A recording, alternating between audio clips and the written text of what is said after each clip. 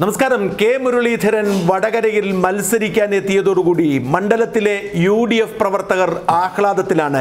കോൺഗ്രസുകാർ മാത്രമല്ല ലീഗുകാരും അത്യാഹ്ലാദത്തിലാണ്. പി ജയരാജൻ എന്ന C P എമ്മിന്റെ കരുത്തനായ സ്ഥാനാർത്ഥിക്ക് ഇതുപോലൊരു എതിരാളിയെ കിട്ടും എന്ന് അവർ പ്രതീക്ഷിച്ചിരുന്നില്ല.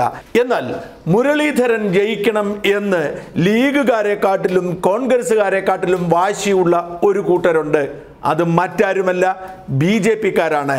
ബി ജെ പിയെ സംബന്ധിച്ചിടത്തോളം മുരളീധരൻ ജയിച്ചാൽ വലിയ ഒരു ഭാഗ്യം അവരെ കാത്തിരിപ്പുണ്ട്. തിരുവനന്തപുരം നഗരത്തിലെ വട്ടിയൂർക്കാവ് എന്ന മണ്ഡലത്തിൽ ബി ജെ പിയുടെ കുമ്മനം രാജശേഖരനെ നേരിയ വോട്ടുകളുടെ വ്യത്യാസത്തിലാണ് കഴിഞ്ഞ നിയമസഭാ തെരഞ്ഞെടുപ്പിൽ കെ മുരളീധരൻ തോൽപ്പിച്ചത്. കെ മുരളീധരൻ അല്ലാതെ മറ്റൊരു സ്ഥാനാർത്ഥിയായിരുന്നു വട്ടിയൂർക്കാവ് മത്സരിച്ചിരുന്നതെങ്കിൽ വിജയം ബി ജെ പി സ്ഥാനാർത്ഥിക്കായിരുന്നു. അതായത് ബി ജെ പിക്ക് ഏറ്റവും അധികം സ്വാധീനമുള്ള കേരളത്തിലെ രണ്ടാമത്തെ മണ്ഡലമായി വട്ടിയൂർക്കാവ് മാറിയിരിക്കുകയാണ്. നിയമത്തിന് ശേഷം ഏറ്റവും അധികം സ്വാധീനമുള്ള നിയമത്തെ ഒ രാജഗോപാൽ ജയിച്ചപ്പോൾ കുമ്മനം മത്സരിച്ച വട്ടിയൂർക്കാവിൽ സി പി എമ്മിന്റെ ടി എൻ സിമിയെ മൂന്നാമതാക്കി കുമ്മനം രാജശേഖരൻ രണ്ടാമതെത്തിയത് മുരളീധരനും കഴക്കൂട്ടത്ത് മത്സരിച്ച കടകംപള്ളി സുരേന്ദ്രനും തമ്മിലുള്ള ഒരു ധാരണയുടെ പുറത്തായിരുന്നു എന്നാണ് പൊതുവെയുള്ള ചർച്ചയും ആരോപണവും.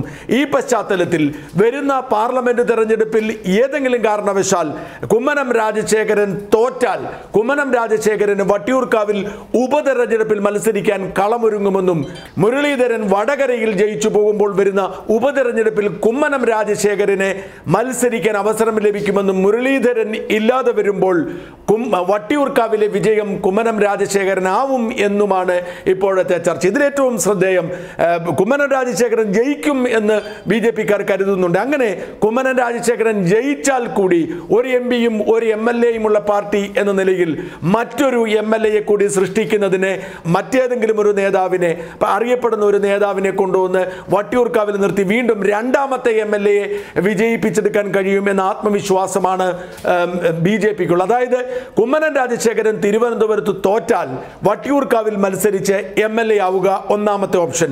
വട്ടിയൂർ തിരുവനന്തപുരത്ത് കുമ്മനം രാജശേഖരൻ ജയിച്ചാൽ വീണ്ടും വട്ടിയൂർക്കാവിൽ മറ്റൊരു ഏഹ്, സ്ഥാനാർത്ഥിയെ കൂടി ബി ജെ പിക്ക് ജയിപ്പിച്ചെടുക്കുക അങ്ങനെ മുരളീധരൻ ജയിക്കുക എന്നത് ബി ജെ പിയുടെ ആവശ്യമായി മാറുന്നു. ബി ജെ പിയെ സംബന്ധിച്ചിടത്തോളം മുരളീധരൻ ബി ജെ പിക്ക് എതിരാണെങ്കിൽ കൂടി ബി ജെ പിയുടെ ആശയങ്ങളോട് യോജിക്കുന്നില്ലെങ്കിൽ കൂടി വടകരയിൽ വിജയിച്ചാൽ പി ജയരാജനെതിരെയുള്ള വികാരത്തിന്റെ ഭാഗമായി മുരളീധരൻ വടകരയിൽ വിജയിച്ചാൽ ബി ജെ പിക്ക് ഒരു ലോട്ടറി തന്നെയായി മാറാവുന്ന ഒരു സാഹചര്യമാണ്. ഇതാണ് വാസ്തവത്തിൽ ബി ജെ പി ഏറ്റവും കൂടുതൽ ആവേശം കൊള്ളിക്കുന്നത് അതേസമയം ഇത് ഉയർത്തിപ്പിടിച്ചുകൊണ്ട് അതായത് ഇവിടെ മുരളീധരൻ ജയിച്ചാൽ ബി ജെ പിക്ക് അക്കൗണ്ട് തുറക്കുന്നതിന് മറ്റൊരു അക്കൗണ്ട് കൂടി തുറക്കുന്നതിനുള്ള അവസരമൊരുങ്ങും എന്ന് ചൂണ്ടിക്കാണിച്ചുകൊണ്ട് പി ജയരാജന് വേണ്ടി സി പി എം രംഗത്തിറങ്ങിയിട്ടുണ്ട്. ഇപ്പോൾ തന്നെ സി പി എമ്മുകാർ പ്രചരിപ്പിക്കുന്ന പ്രധാനപ്പെട്ട കാര്യം നിങ്ങൾ പി ജയരാജനെ തോൽപ്പിച്ച് കെ മുരളീധരനെ വിജയിപ്പിച്ചാൽ നിങ്ങളെ സംഭവിക്കുന്ന ഏറ്റവും വലിയ അപകടം നിങ്ങളുടെ ഏറ്റവും വലിയ എതിരാളിയ ബി ജെ പി നിയമസഭയിൽ മറ്റൊരു സീറ്റ് കൂടി കൊണ്ടുപോകും. അതുകൊണ്ട്